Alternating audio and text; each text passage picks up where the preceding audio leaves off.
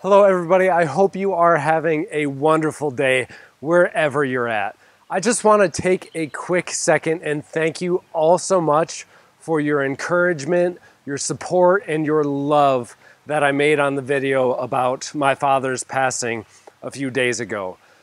It was just absolutely incredible to see how much support we've gotten and to see how many different people around the world have gone through the same thing. My hearts and my prayers are out to everybody else who might be going through the same thing. And again, just thank you so much for the support. It means the world to me. Absolutely makes a huge difference. So many of you commented on that video, and it means so, so much. Thank you all very much. One of the things that my father taught me was to always utilize the resources we have around us. If we don't have to make an extra trip to the grocery store or to the co-op or anywhere for that matter, try not to because most of the time we can make it work at home with what we have. And so that brings me to today's video.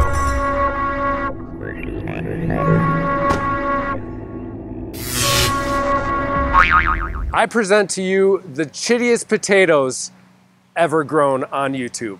These potatoes have been sitting downstairs. I'll admit it, I completely forgot about them. So they are totally chitted out.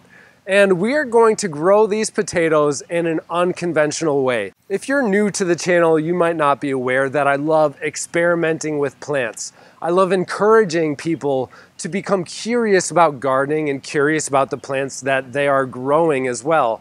Which brings me to today's video. I'm gonna show you that you can grow things in unconventional ways. You don't have to follow the rules or the laws of gardening because as a matter of fact, there is a thousand ways to grow everything. Whatever we're growing in the garden, there's gonna be somebody saying that you're doing it the wrong way, or some people agreeing with you saying that you're doing it the right way. When in all reality, your harvest is probably going to be just fine anyways, which is why it's important that we utilize the resources around us. Really think of it as treating resources with reverence. These things have been provided to us from the earth, so we should use whatever we can. So in today's video, we're gonna be growing them in a five gallon bucket, right here, five gallon bucket.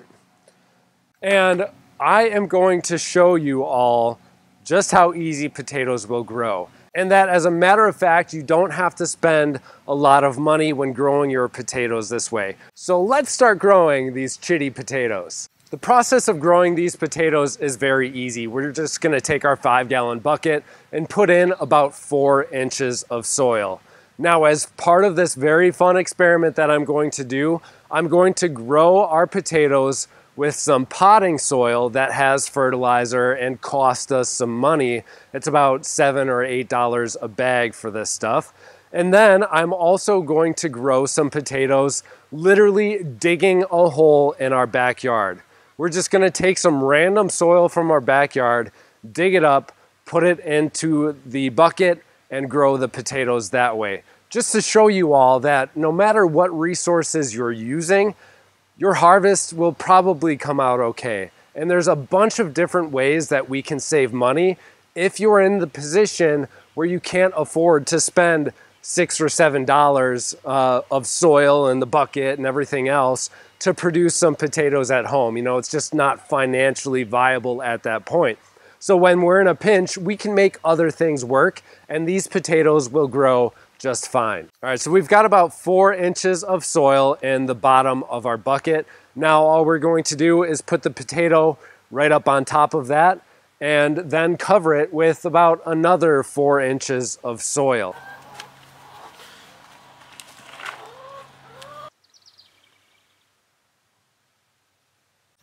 These buckets have holes in the bottom of them. I believe they are 3 eighths holes that I drilled all around it for drainage. If you don't have these holes, your potatoes will rot out. So make sure you have drainage holes for them. After this point, if you are getting regular rains about, you know, every four or five days, your potatoes will probably be okay without being watered.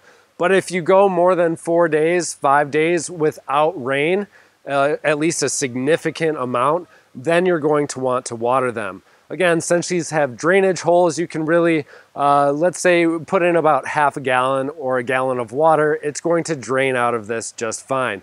Keep these potatoes in full sunlight as we want to make sure that the soil temperature is quite warm. If our soil temperature drops below 45 degrees, then they're not going to grow nearly as fast. So if we can maintain temperatures ideally above 50 degrees at the minimum, then we are golden. A 65 degree soil for potatoes like this or any seed potato, that is going to be ideal. Your potatoes will sprout faster than you would believe. Right now, these potatoes are about two, two and a, Go back behind the cloud.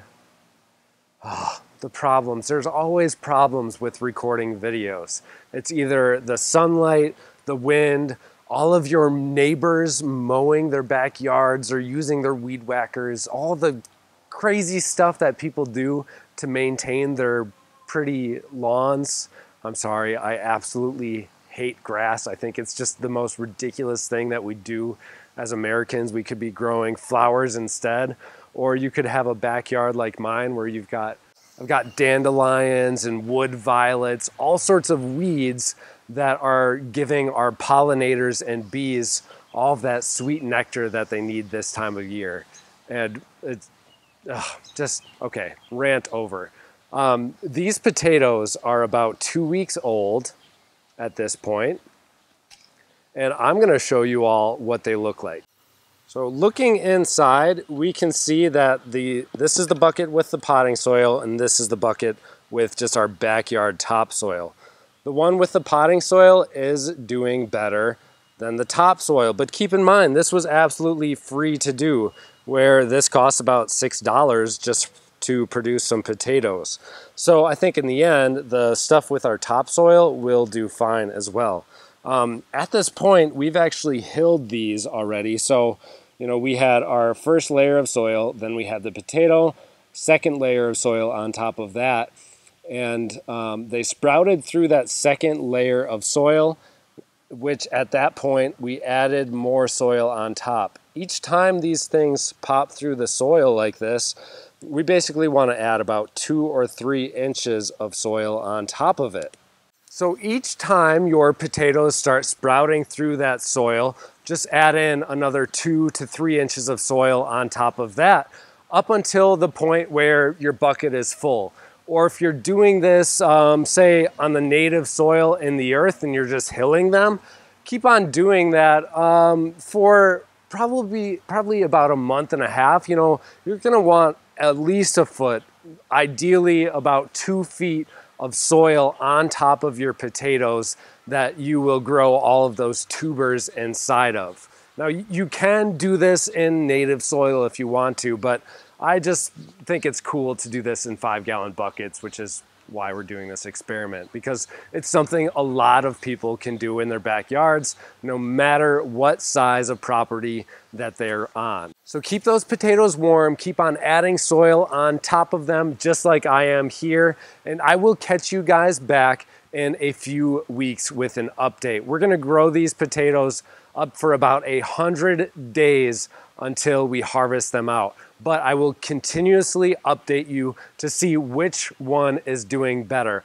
Ultimately, I think the potting soil one might do a little bit better, but again, that's not the point. The point is that you can still get harvests of vegetables for a very, very low cost compared to going to the supermarket or going to the store garden center and purchasing brand new supplies each time. There's a lot of different resources that we should utilize in our backyard gardens and our homestead. And if you want the full video that I did on how to grow potatoes in a bucket, I will have that um, in a screen right here, right at the end of the video just now. Uh, click on that it's really fun. It's a, a, great project for the whole family. My son had a blast doing it as well. And if you've got kids, I think that they're going to have a fun time also. Happy gardening, and we'll see you in the next episode.